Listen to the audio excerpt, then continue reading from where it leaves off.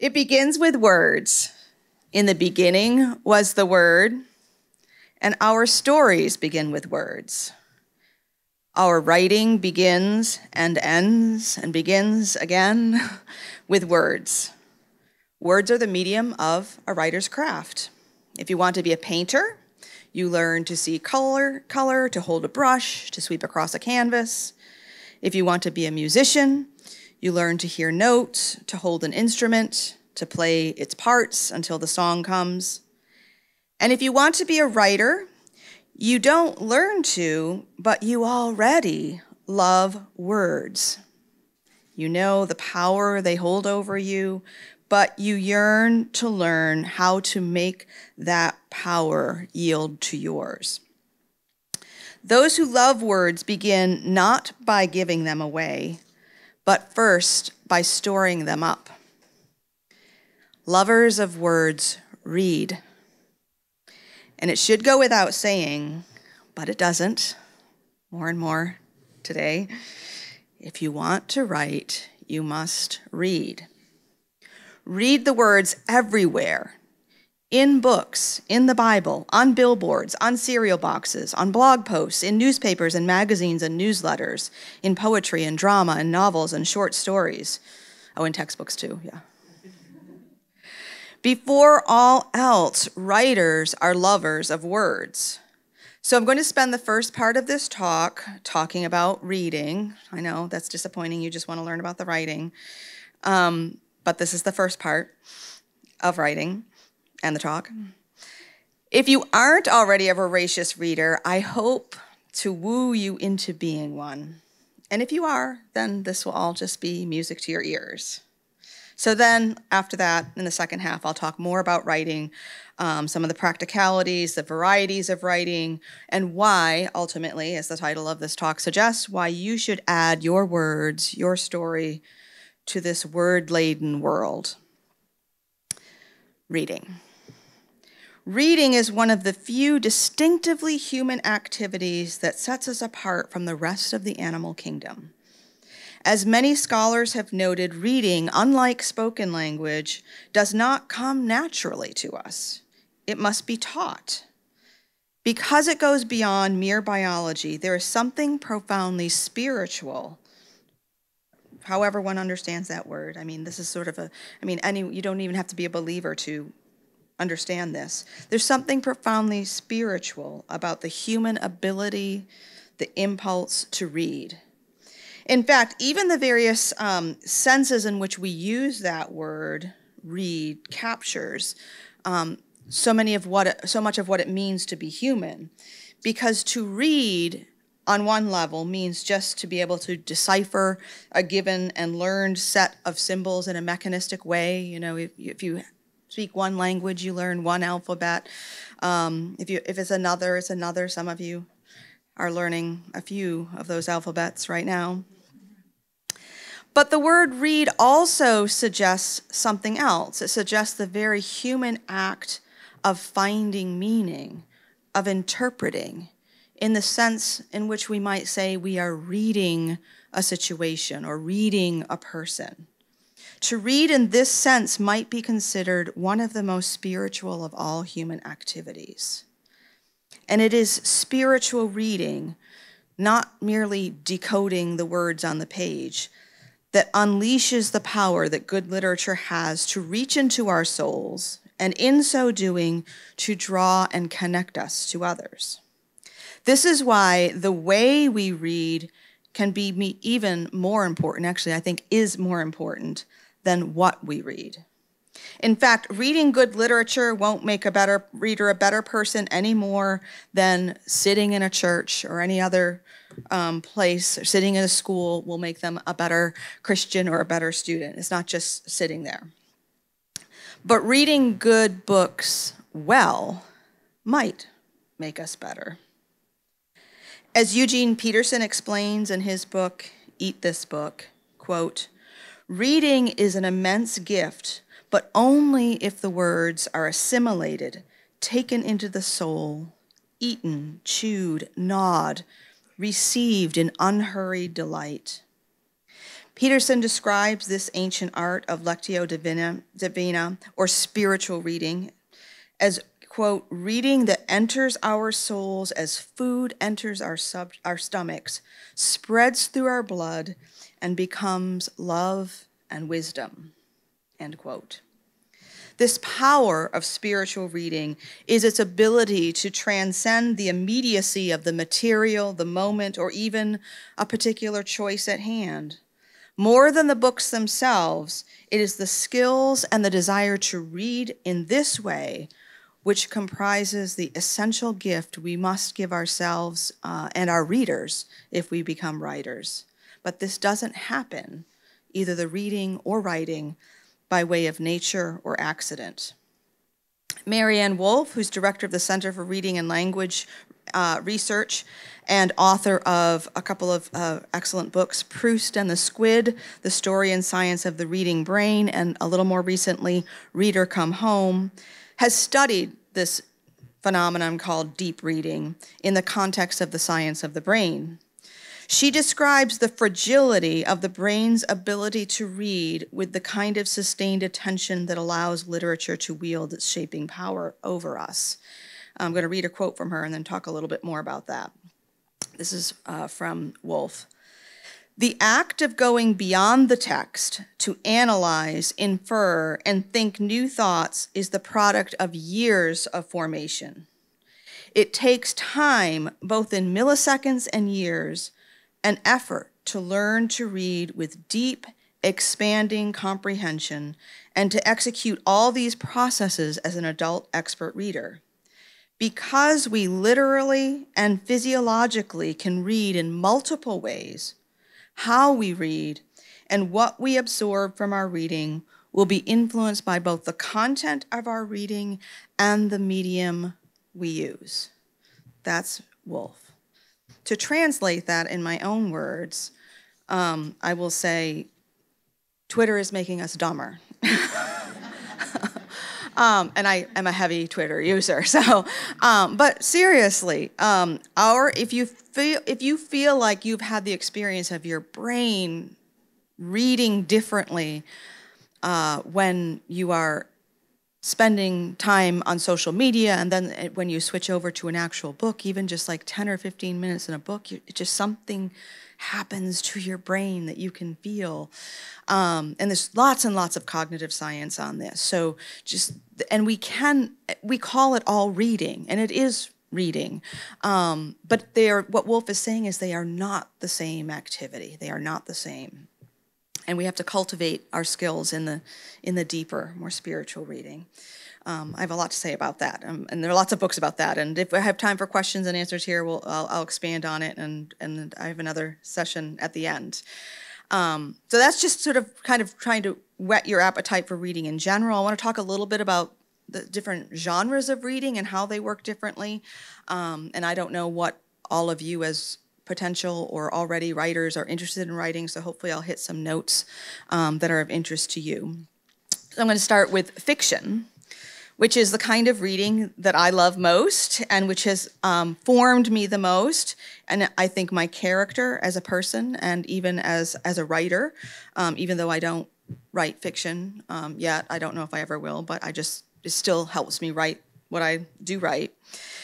And uh, in my first book, I think was mentioned in the introduction, um, Booked Literature in the Soul of Me, which is a spiritual and literary memoir, um, I recount the way the books that I read um, as a girl, as a young woman, um, as a student later, how all of those books just shaped me in so many ways, shaped my worldview, shaped my character, my beliefs, um, as much as anything else. So, for example, from Great Expectations, one of my favorites, I learned the power that stories have um, to the stories that we tell ourselves, um, how they can do us either good or harm uh, to ourselves or others. From Death of a Salesman, I learned the dangers of a corrupt version of the American dream. From Madame Bovary, I learned to embrace the real world, the ordinary world, rather than choosing to flight, escape into flights of fancy. From Gulliver's Travels, I learned the profound limitations of my own finite perspective. And from Jane Eyre, another of my favorites, they're all my favorites, okay, let's be honest. And from Jane Eyre, I learned how to be myself. And these weren't merely intellectual lessons or moral lessons. There are a lot of ways we can talk about these books that way. And, and they, they do have those lessons. Um, and the lessons that I learned may have begun that way. But rather, the stories from these books and so many others became part of my life story and then gradually just part of my soul. Stories take place in linear time. And in that way, they imitate our sense of our earthly existence, which also has a beginning and a middle and an end. And even stories that play with linear time um, do that while rooted in it. I mean, they are not playing against it unless they know what it is. And the heart of every story, every good story, even a three sentence long story, and there are such examples flash fiction or short, short, short fiction. Um, the heart of every story is a conflict.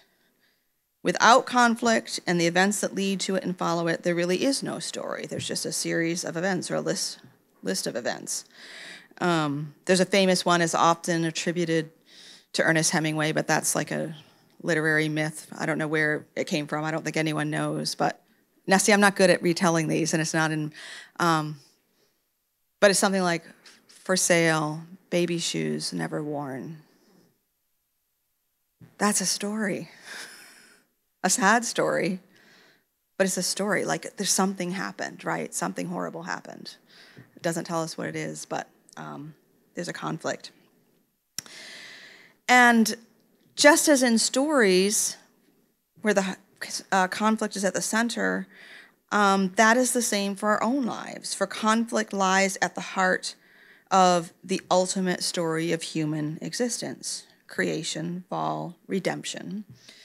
Um, and the essential human conflict is, of course, the rupture of our union with God.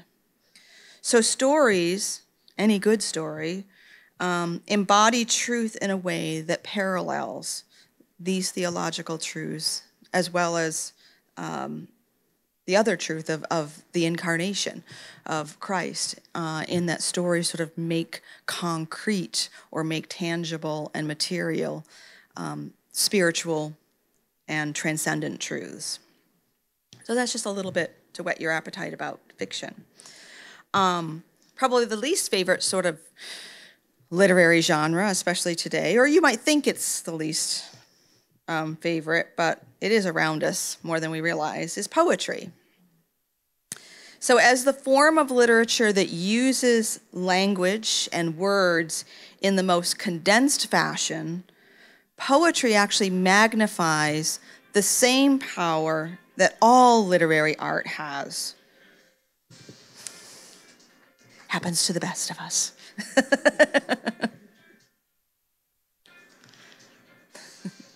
That's all right. Speaking of poetry.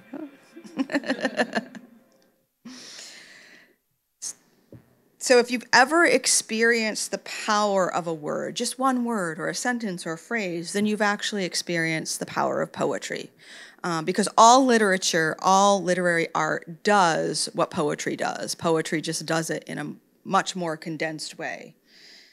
So you might think that you are not a poetry person, but I'm here to try to convince you in a short time that you are.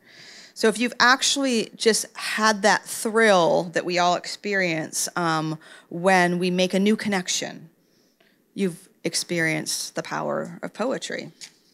Because poetry um, does the same thing. Poetry makes connections through words. Um, that's all figures of speech, all those ones that you learn in, in junior high or high school, and then again in college metaphor, simile, metonymy, synecdoche, allusion, all of those. All of those are just different ways that we use words to show how one thing is like another. That's all it is, is saying how things are alike. A poem suggests more than its words say through the power of these kinds of connections or comparisons. A rush of meaning overspills the banks of its words to be scooped up by a reader's pitiful little cup.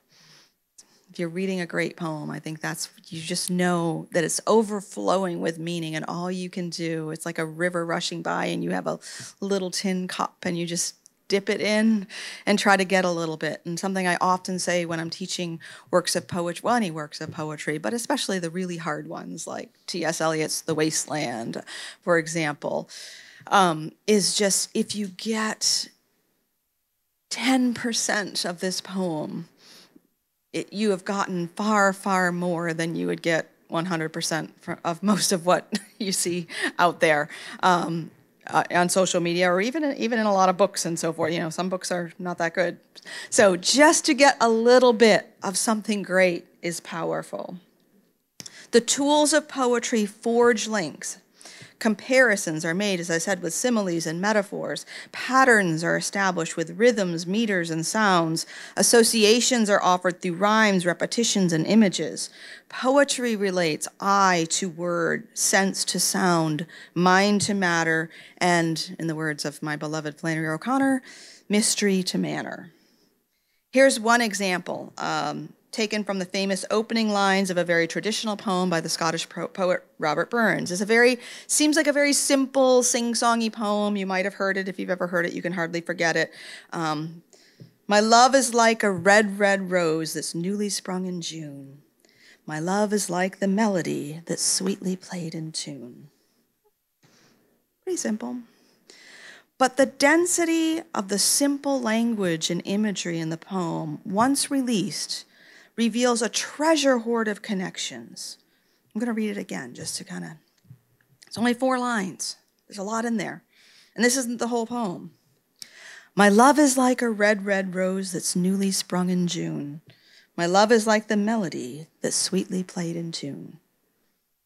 So, little poetry lesson here. So, my love, my love could be my feelings, but it could be oh my love my this person right? I mean right? You don't you don't know. It could be either one because because the, those two words suggest both equally.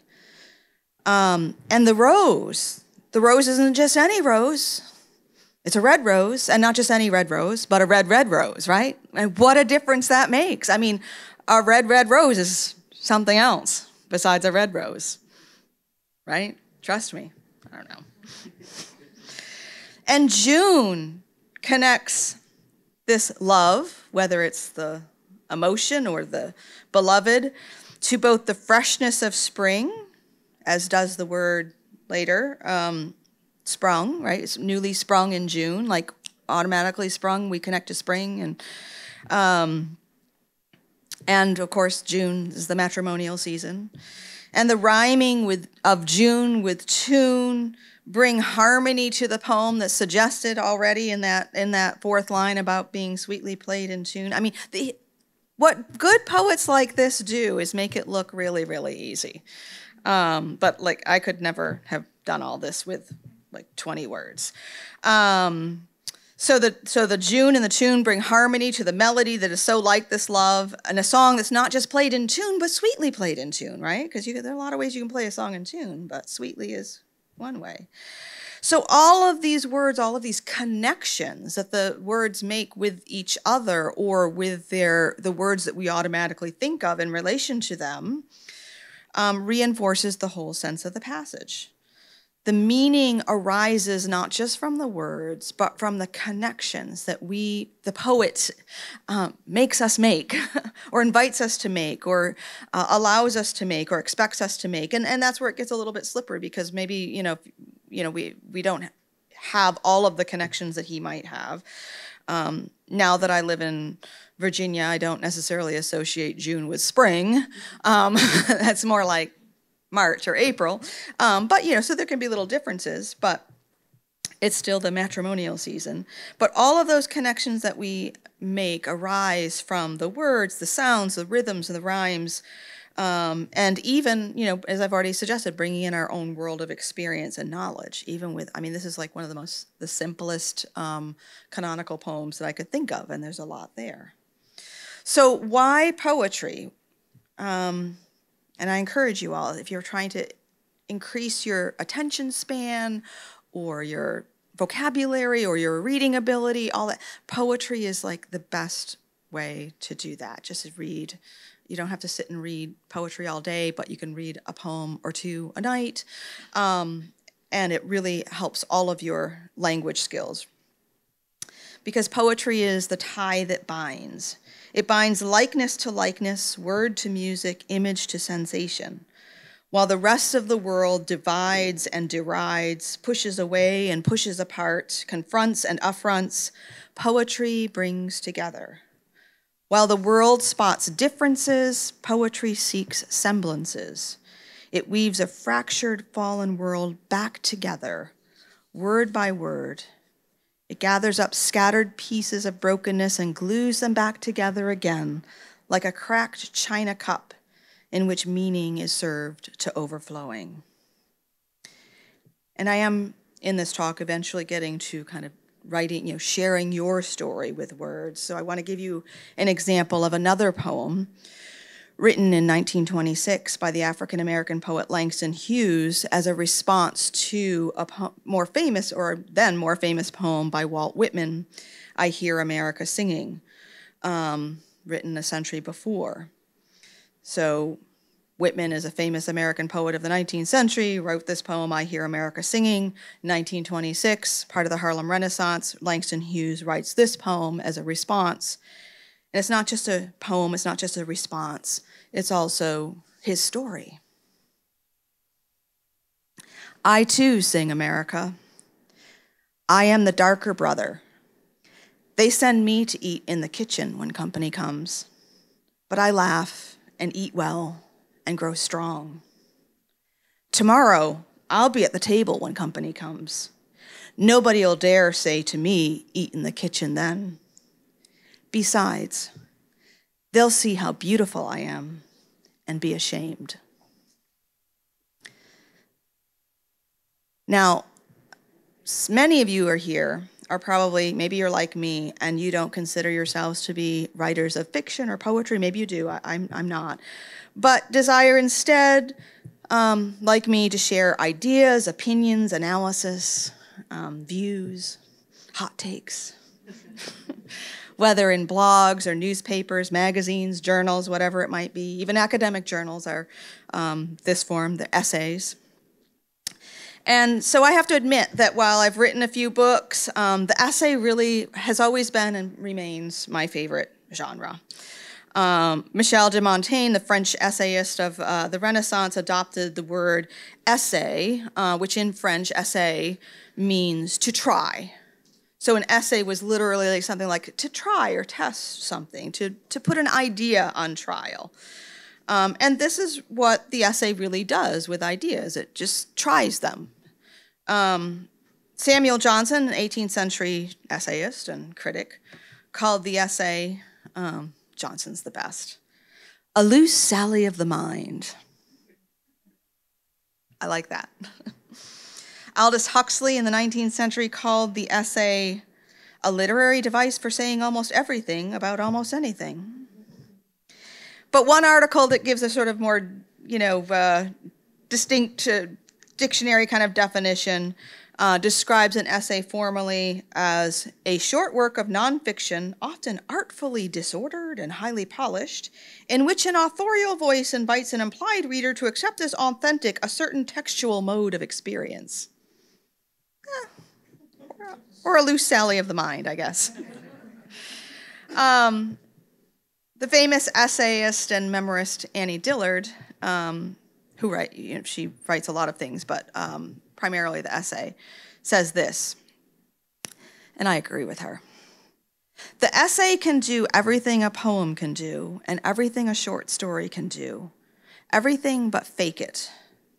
The essayist does what we do with our lives. The essayist thinks about actual things. He can make sense of them analytically or artistically. In either case, he renders the real world coherent and meaningful, even if only bits of it, and even if that coherence and meaning reside only inside small texts. I like that. Um, and again, when we, we do the question, question and answer, either now or later, I'm happy to talk more about any of these. Um, memoir is the next genre that I want to write about. Um, because for some of you, the most powerful words that you have to share may be the most personal ones. And those uh, words may be the ones that tell about your life. And I, you know, I've given a whole workshop on memoir, which I'm not doing um, here today, but just you know, to just to set it out there, memoir is not the same as autobiography. Autobiography tries to sort of tell most everything, and a memoir is really um, kind of a slice of life, kind of an angle um, with a theme, with an overarching theme, which is why it tends to be more literary and fits in the in a genre that um, writing instructors call creative nonfiction or CNF um, because it is considered an art form. Um, consider, uh, no, no, no, I've skipped. Uh, so, writing a memoir um, is very vulnerable, obviously. And uh, often you'll hear writing teachers or memoir teachers compare it to taking off your clothes in public, which is pretty vulnerable. Uh, but I, one writing coach responds to that old cliche by saying that it doesn't go far enough. It's like taking your clothes off and reading your journal in public at the same time. So, um, and yeah, I'm, I'm, happy to. I have a lot to say about memoir because I've written one. Um, but let's consider this story for a moment. I'm just giving a shortened version of it. Once upon a time, there was a little girl. When she was eight years old, she was taken from the grandmother who had raised her in Arkansas to St. Louis to live with her mother, with the mother who had long ago abandoned her. And there in St. Louis, the little girl was brutally raped by her mother's boyfriend. And although the rapist was soon after tried and found guilty, he was allowed to go free. Because who in the St. Louis court system in 1930 cared about a poor little black girl, after all. When the girl's family and community sought justice and ended up murdering the rapist, the little girl blamed herself for his death. She thought she should have remained quiet. So, as a result, she shut her mouth and never spoke for a long, long time. Only after she was in, introduced to books and words and all the worlds they reveal did the girl eventually find her voice. Her name is Maya Angelou, and she is the girl who wrote this story of her life. I know why the caged bird sings. And the world has ever since been enriched and educated and changed by her words. But she had to find her voice and those words first. Yet, a life doesn't need to be dramatic to be interesting. Um, the, the key, especially in a memoir, is to reveal the universal through the particular. The good memoir is honest without being therapy or confession. Now, therapists exist for therapy, priests and the Lord for confession. um, so that's you know that that's that is not what a memoir is for. Um, a memoir is interesting to read, or a journal, or a journal. That's something I often say. Like a lot of lot of writing I see should just stay in a journal um, with a lock and a key. Um, but a memoir can be interesting to readers, not because you reveal yourself as much as because you reveal something to them about themselves through your experiences. Again, that's finding the universal and the particular. Um, but of course, there you know there are also um, some memoirs uh, or some lives that really are curious and different enough to make for fascinating uh, memoirs. And I'll, I just people often ask me what my favorite memoirs are, and so I'll say those here. Um, Tara Westover's "Educated," and Jeannette Wall's "The Glass Castle." Um, and what I love most about The Glass Castle, "Educated" isn't is good in this area, but um, the Glass Castle is is the story of a girl who was, you know, really mistreated by her family and grew up in rough circumstances, and yet she doesn't, pardon the expression, throw her family under the bus. Um, she is loving toward them and understanding as much, you know, kind of navigating that truth in love. Um, and that's a really powerful part of the book to me that she could undergo so much and yet try to be show grace um, to her family. So if you're, you know, if you're if you're looking to read something that you might follow an example from, um, I would recommend that. So, because literature embodies the, uh, the linearity, as I talked about before, and the connectivity of our conflict ridden lives, reading, whether it's novels, short stories, poems, essays, or memoirs, is practice in making meaning out of the human condition. Metaphorically, stories, drama, and poetry put flesh on ideas so those ideas can dwell among us. Good writing expands the imagination not only by enlarging our field of vision beyond the limits of our finite experience, but also in help, help, helping us to practice finding and making meaning. But with so many good stories already in the world, does the world need any more? That's the question. And I say yes. I say that because the universe is infinite. And because the God who created the world with his words and created us in the image of his word, I say the world will never run out of room for more words. But, and there's always a but, and I'll have more of those buts later at the end of the day when I talk about some of the perils of publishing. Um, words can be good and they can be bad. They can be life giving or they can be life destroying.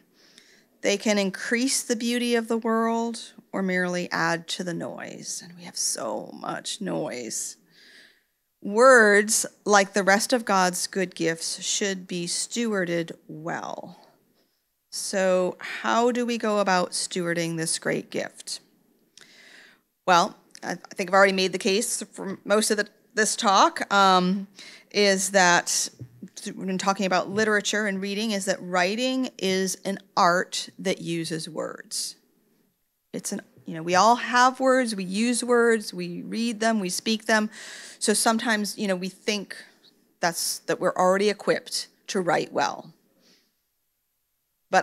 I can't dribble a, bla- a basketball just because I can walk, right? I don't know if that's the best analogy, but you know, I can hold a ball, I can walk, maybe, but that you know, but that doesn't allow me to to dribble a basketball. Um, I can listen to music, but I can't sing it. Okay, so writing is an art form.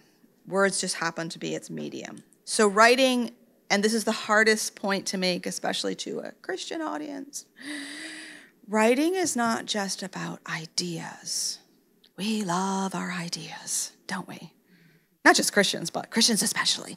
We love to, you know, think that we have the truth that's going to save the world, and all we have to do is say it. Um, which that's I'm you know that that that works right? I mean that can work. But when we're talking about writing as a craft writing as an art form writing that deserves to be published and deserves and warrants some other person meaning a publisher investing in it which we'll talk about later um, means that you, it, it, has to be an art form or something that you have practice and have skill at.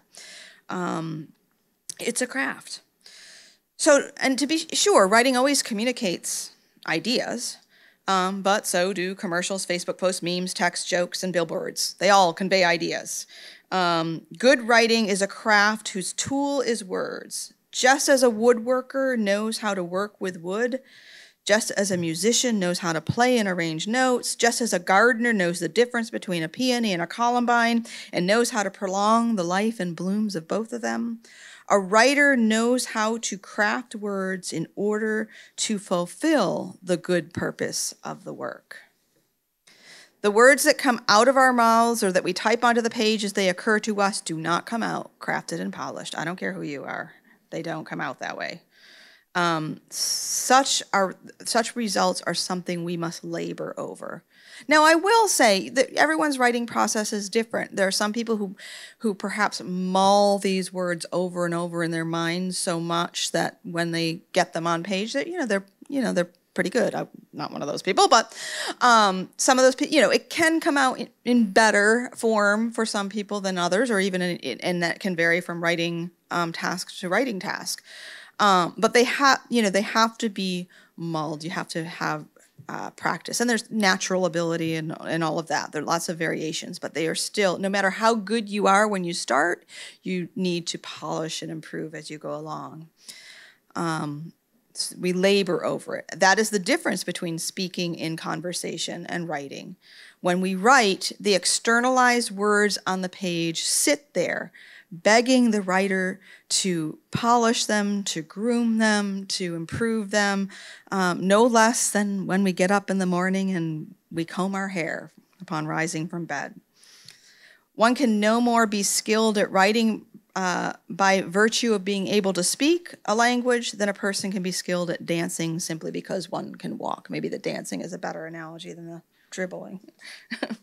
so, how do we make our words dance? Short list. I mean, this isn't, you know, this isn't a whole semester course we study the craft. That's what reading is all about, studying the craft. And, and, and, not just reading, skimming, but reading, studying, saying, wow, that sentence is amazing. How did he write that sentence? Or what makes this um, phrase work so well? To, to read attentively that way. So we study the craft, we practice, we find our audience. I'll be talking about that more uh, this afternoon. We participate as writers in a writing and reading community. Yeah. And we find the place that writing, and for some of us with that publishing, has in our life. It's not just going to happen accidentally. We have to make room for it. So, um, Yeah, I was going to say a few more about each of these things. Um, yeah, okay, I will. I will. I'll say a, a few quick things. We're ending at like 10:55 or whatever, something like that. Okay, so uh, just a little bit more about craft. So most of us understand that a child um, who sings a nursery song can't become a skilled musician unless they work on the craft.